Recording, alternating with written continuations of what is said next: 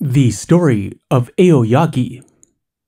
A Japanese ghost story from Kwaidan Stories and Studies of Strange Things by Lafcadio Hearn, 1904.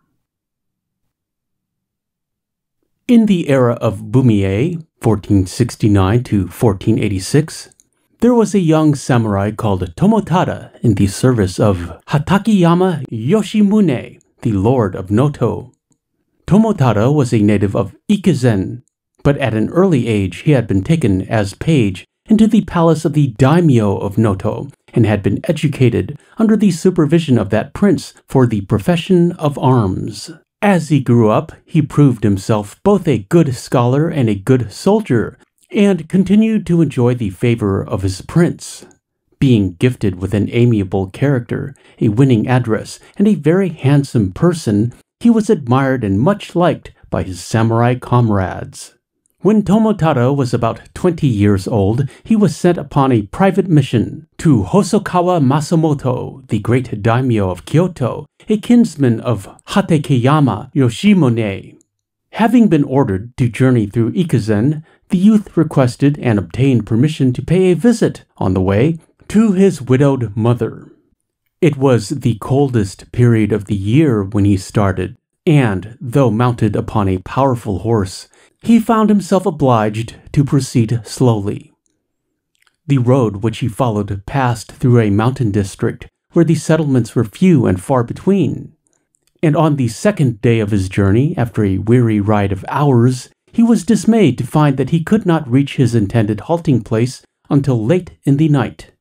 He had reason to be anxious, for a heavy snowstorm came on, with an intensely cold wind, and the horse showed signs of exhaustion. But in that trying moment, Tomotada unexpectedly perceived the thatched room of a cottage on the summit of a near hill, where willow trees were growing. With difficulty he urged his tired animal to the dwelling, and he loudly knocked upon the storm doors, which had been closed against the wind. An old woman opened them and cried out compassionately at the sight of the handsome stranger. Ah, how pitiful! A young gentleman traveling alone in such weather. Deign, young master, to enter. Tomotada dismounted and after leading his horse to a shed in the rear, entered the cottage, where he saw an old man and a girl warming themselves by a fire of bamboo splints. They respectfully invited him to approach the fire, and the old folks then proceeded to warm some rice wine and to prepare some food for the traveler whom they ventured to question in regard to his journey. Meanwhile, the young girl disappeared behind a screen. Tomotada had observed with astonishment that she was extremely beautiful, though her attire was of the most wretched kind and her long, loose hair in disorder. He wondered that so handsome a girl should be living in such a miserable and lonely place. The old man said to him, Honored sir, the next village is far and the snow is falling thickly. The wind is piercing and the road is very bad. Therefore, to proceed further this night would probably be dangerous. Although this hovel is unworthy of your presence, and although we have not comfort to offer, perhaps it would be safer to remain tonight under this miserable roof. We would take good care of your horse. Tomotada accepted this humble proposal, secretly glad of the chance thus afforded him to see more of the young girl. Presently, a coarse but ample meal was set before him, and the girl came from behind the screen to serve the wine. She was now reclad, but in a rough, cleanly robe of homespun, and her long, loose hair had been neatly combed and smoothed. As she bent forward to fill his cup, Tomotada was amazed to perceive that she was incomparably more beautiful than any woman whom he had ever before seen, and there was a grace about her every motion that astonished him. But the elders began to apologize for her, saying, Sir, our daughter, Aoyagi, has been brought up here in the mountains, almost alone, and she knows nothing of gentle service. We pray that you will pardon her stupidity and her ignorance.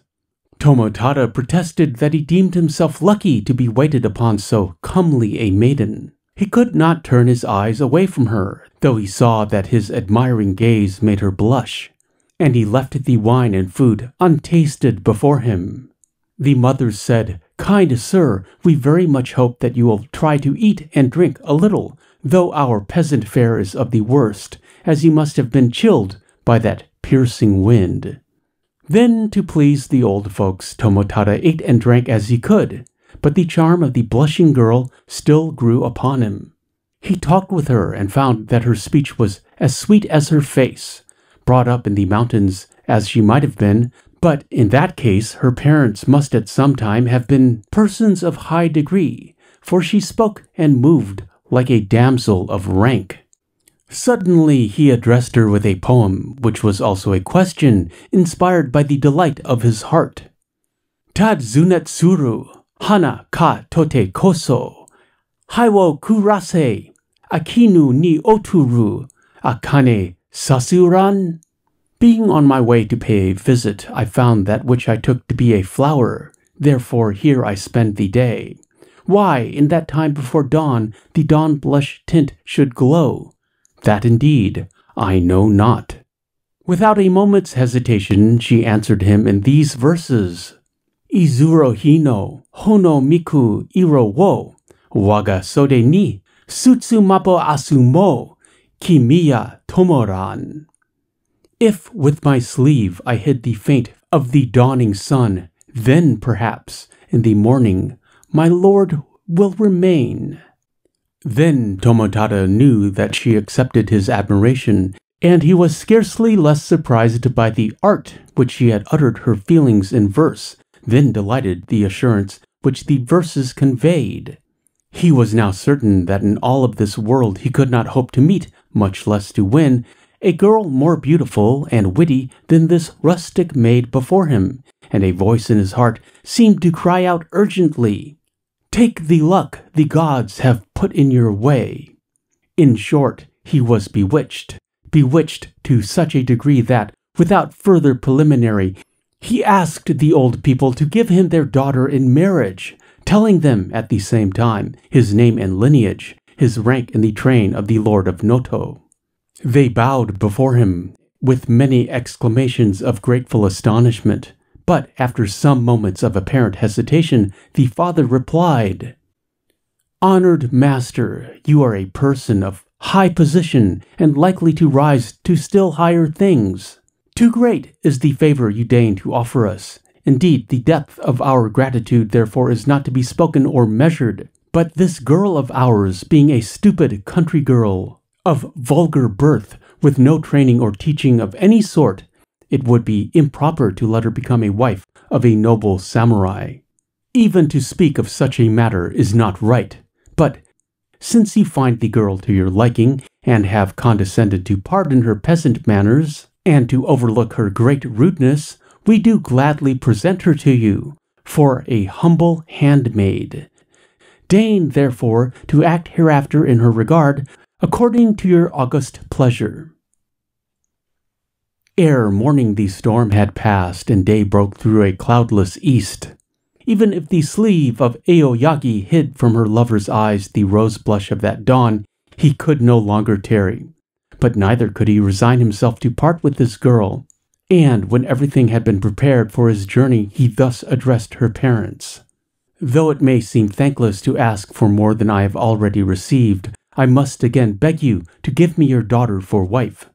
It would be difficult for me to separate from her now, and as she is willing to accompany me, if you permit, I can take her with me as she is. If you will give her to me, I shall ever cherish you as parents. And in the meantime, please to accept this poor acknowledgment of your kindest hospitality. So saying, he placed before his humble host a purse of gold ryo. But the old man, after many prostrations, gently pushed back the gift and said, Kind master, the gold would be of no use to us, and you will probably have need of it during your long, cold journey. Here we buy nothing, and we could not spend so much money upon ourselves, even if we wished. As for the girl, we have already bestowed her as a free gift. She belongs to you. Therefore, it is not necessary to ask our leave to take her away. Already she has told you that she hopes to accompany you and to remain your servant for as long as you will be willing to endure her presence. We are only too happy to know that you deign to accept her, and we pray that you will not trouble yourself on our account. In this place, we could not provide her with proper clothing, much less with a dowry. Moreover, being old, we should in any event have to separate from her before long. Therefore, it is very fortunate that you should be willing to take her with you now. It was in vain that Tomotada tried to persuade the old people to accept a present. He found that they cared nothing for money. But he saw that they were really anxious to trust their daughter's fate to his hands, and he therefore decided to take her with him. So he placed her upon his horse and bade the old folks farewell for the time being, with many sincere expressions of gratitude. Honored sir, the father made answer, it is we, not you, who have reason for gratitude. We are sure that you will be kind to our girl, and we have no fears for her sake. Here in the Japanese original, there is a queer break in the natural course of the narration, which therefrom remains curiously inconsistent. Nothing further is said about the mother of Tomotada, or about the parents of Aoyagi, or about the daimyo of Noto. Evidently, the writer wearied of his work at this point and hurried the story very carelessly to its startling end. I am not able to supply his omissions or to repair his faults of construction, but I must venture to put in a few explanatory details without which the rest of the tale would not hold together.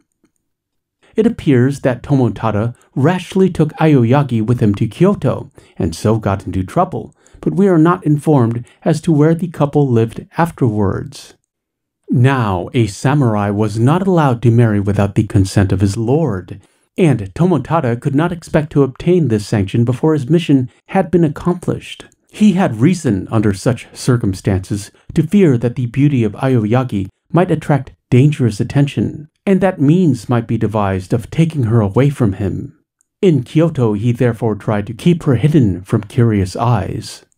But a retainer of Lord Hosokawa one day caught sight of Aoyagi, discovered her relation to Tomotada, and reported the matter to the daimyo.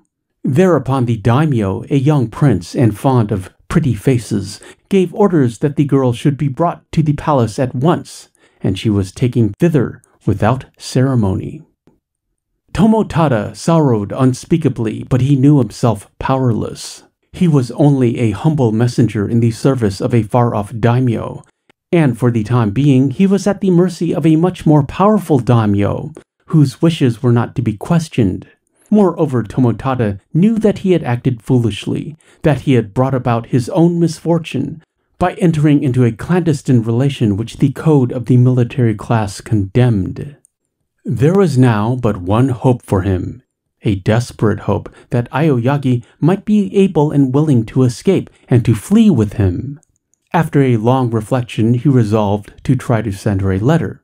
The attempt might be dangerous, of course, any writing sent to her might find its way to the hands of the daimyo, and to send a love letter to any inmate of the palace was an unpardonable offense.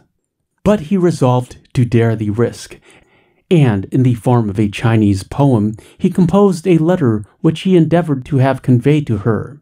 The poem was written with only 28 characters, but with those 28 characters, he was able to express all the depth of his passion and to suggest all the pain of his loss. Koshi oson gojin wo u, ryukuji namida wo tarate, tarati raken wo hitataru, komon hitotabi, irite fukaki koto umi no gotoshi, kore yore shoro kore rojin. Closely, closely, the youthful prince now follows after the gem bright maid, the tears of the fair one falling have moistened all her robes. But the august lord, having once become enamored of her, the depth of his longing is like the depth of the sea. Therefore it is only I that am left forlorn, only I that am left to wander along. On the evening of the day after this poem had been sent, Tomotada was summoned to appear before the Lord Hosokawa. The youth at once suspected that his confidence had been betrayed, and he could not hope, if his letter had been seen by the daimyo, to escape the severest penalty. Now he will order my death, thought Tomotada, but I do not care to live unless Aoyagi be restored to me. Besides, if the death sentence be passed, I can at least try to kill Hosokawa. He slipped his swords into his girdle and hastened to the palace. Upon entering the presentation room, he saw the Lord Hosokawa seated upon the dais, surrounded by samurai of high rank, in caps and robes of ceremony. All were silent as statues, and while Tomotada advanced to make obeisance, the hush seemed to him sinister and heavy, like the stillness before a storm. But Hosokawa suddenly descended from the dais, and, while taking the youth by the arm, began to repeat the words of the poem, Koshi Osan Goju Wo And Tomotada, looking up, saw kindly tears in the prince's eyes. Then said Hosokawa, Because you love each other so much, I have taken it upon myself to authorize your marriage, in lieu of my kinsman, the Lord of Noto, and your wedding shall now be celebrated before me. The guests are assembled, the gifts are ready. At a signal from the Lord, the sliding screens concealing a further apartment were pushed open, and Tomotada saw many dignitaries of the court assembled for the ceremony, and Aoyagi awaiting him in bride's apparel.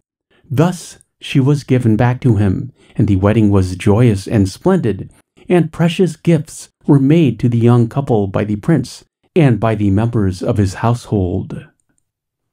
For five happy years after that wedding, Tomotada and Aoyagi dwelt together.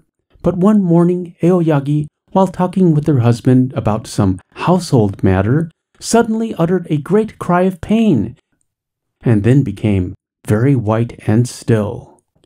After a few moments, she said, in a feeble voice, Pardon me thus, rudely crying out, but the pain was so sudden. My dear husband, our union must have been brought about through some karma relation in a former state of existence, and that happy relation, I think, will bring us again together in more than one life to come. But for this present existence of ours, the relation is now ended. We are about to be separated. Repeat for me, I beseech you, the Nembutsu prayer, because I am dying. Oh, what strange wild fancies! cried the startled husband. You are only a little unwell, my dear one. Lie down for a while and rest, and the sickness will pass. No, no, she responded. I am dying. I do not imagine it. I know. And it were needless now, my dear husband, to hide the truth from you any longer. I am not a human being. The soul of a tree is my soul. The heart of a tree is my heart. The sap of the willow is my life. And someone at this cruel moment is cutting down my tree, and that is why I must die. Even to weep were now beyond my strength. Quickly, quickly, repeat the Nembutsu for me.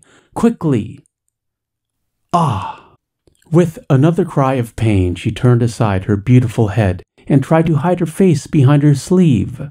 But almost in the same moment, her whole form appeared to collapse in the strangest way and to sink down, down, down, level with the floor. Tomotada had sprung to support her, but there was nothing to support. There lay on the matting only the empty robes of the fair creature and the ornaments that she had worn in her hair. The body had ceased to exist. Tomotada shaved his head, took the Buddhist vows, and became an itinerant priest. He traveled through all the provinces of the empire, and at holy places which he visited, he offered up prayers for the soul of Aoyagi. Reaching Echizen in the course of his pilgrimage, he sought the home of the parents of his beloved. But when he arrived at the lonely place among the hills where their dwelling had been, he found that the cottage had disappeared. There was nothing to mark even the spot where it had stood, except the stumps of three willows, two old trees, and one young tree that had been cut down long before his arrival. Beside the stumps of those willow trees, he erected a memorial tomb inscribed with holy texts, and he there performed many Buddhist services on behalf of the spirits of Aoyagi and of her parents. I'm Super Antonio. Thanks for listening. I appreciate your views. Like, comment, share, and subscribe, and hit that notification bell, and we shall meet again. In the next deep dive.